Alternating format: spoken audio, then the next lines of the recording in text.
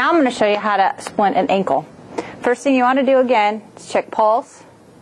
Ma'am, can you wiggle your fingers, toes, whatever. Which toe am I touching? Big toe. Very good. So we've got pulse, motor, and sensation.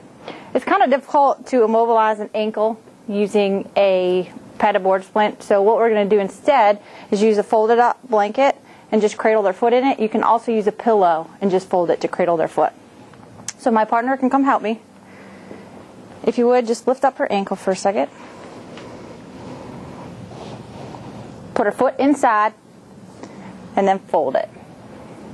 And if you'll hold it up just a little bit for me. And then you just need to secure it in place. You can use tape, you can use roller gauze. I'm just using this ace wrap.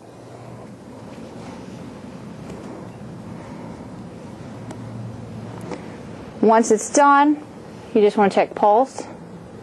Ma'am, can you wiggle your toes? And sensation one last time. You can apply a cold pack. You can stick it underneath there too. Um, you may need to pad up underneath their foot just for comfort, and that's going to be based on your patient.